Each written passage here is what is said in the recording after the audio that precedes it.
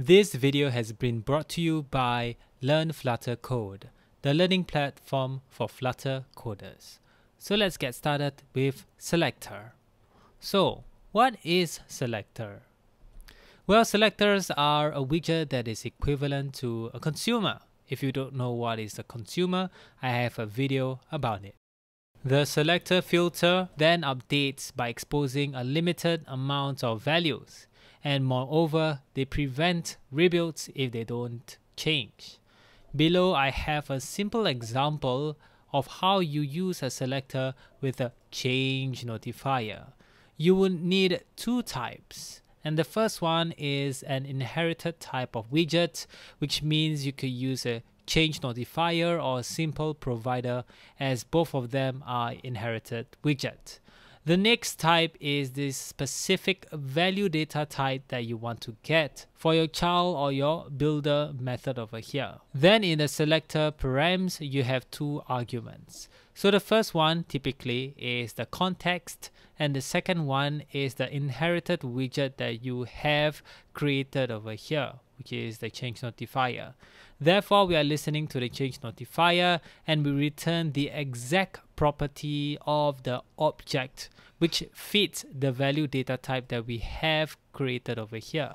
So if this value is an integer, this value data type is also an integer.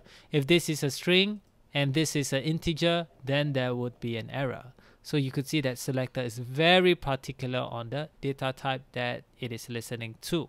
Then in the builder params, you have three arguments. So the first one, as you might have guessed it, it is the context. And then the second one is the value that is returning from the change notifier. And last one is the child widget. For this example, we will use the placeholders for the context and the child widget because we only want the value. Then we will pass in the value into our text widget over here. So let me give you a visual way on how it kind of works. So you have typically in an app a Firebase user object and then the filter is the selector.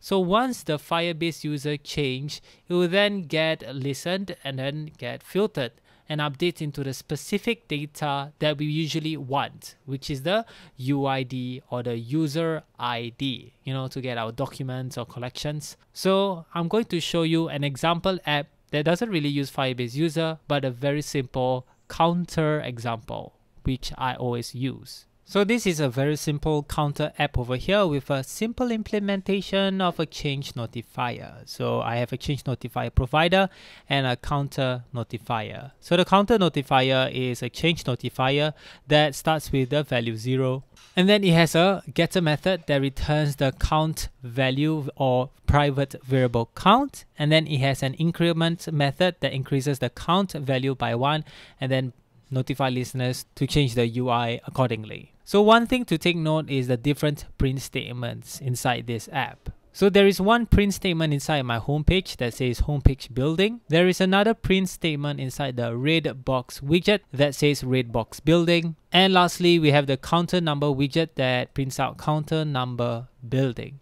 And as you can see here inside our debug console, our homepage and red box and counter number has been printed out accordingly. Because if you were to restart that application all of the widgets in your app will get built first. So if there's any rebuild you could see that this will get printed out again. And now I have the implementation of the selector widget over here. So the selector is listening to the counter notifier that we have implemented earlier and we only want to listen to the integer type. So the counter notifier has this dot count which is our number that we initially started and then it also is an integer type. And lastly, you could see that I've written down everything over here in the builder method. So the context, the value is integer and the child is a widget, but we don't really need it. So then we will return the widgets that we want to build. So we will wrap the red box around the counter number and inside there is this number params that we pass in the value inside. So what do you think will happen if we were to click on this increment floating action button? Do you think only the counter number will get rebuilt Or do you think the red box will get rebuilt? Or do you think all of the widgets in this app will get rebuilt? So let's see. First, we will clear the console. It's so it's easy for us to see. And if you were to click on this increment button you could see that the red box and the counter number has rebuilt. But we are only changing the number not the red box because the red box is a very static widget. So how are we going to prevent this red box for it being rebuilt? Well if you know the answer we need uh, to remove the red box widget and wrap it around the selector widget let's see if it works if we were to press this increment we could only see the counter number that has been rebuilt so now it works. So in summary, selector filters a specific type of data that we need. However, did you know there is a different type of selector? Well, it is called context.select method. So this is actually an extension of the context keyword in your build method in your widgets. The method helps us to expose a value from a provider once it partially changes. So before you have to write this word provider, which is a long word, not really. And after that, you will only write the context.select method with the data type that you need. And in it, it is a function that passes in the data type that you are listening to from the provider itself. And then you will just return the value that you need. You can also manipulate the data that you have received. For example, you can turn the value into a string very simple implementation. However, one thing to take note that it rebuilds the widget for where this context.select method lives.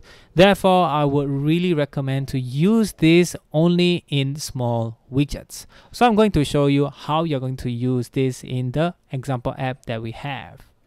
So inside our my home page, we have this count final variable that we got from the context.select. And now with this, we actually just get our counter notifier object, and then we will only want the dot count or the getter method which returns the count variable inside our change notifier or our counter notifier.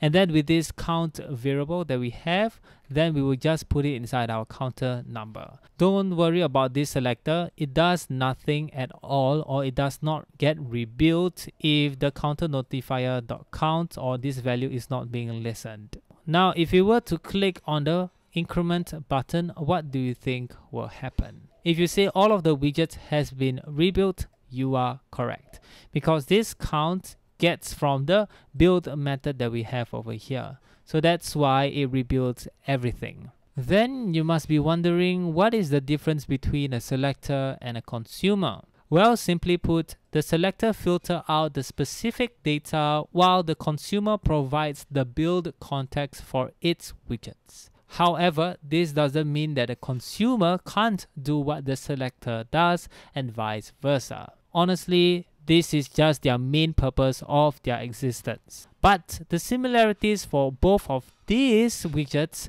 is to optimize. They both do granular or specific rebuilds very well. So in summary, we learned how to use the selector and context.select and we know what's the difference between a selector and consumer, even though they are very, very similar. So that's it. Don't forget to like and subscribe for more of these kind of videos and comment down what other topics I should do next. So stay safe and all the best. Bye bye.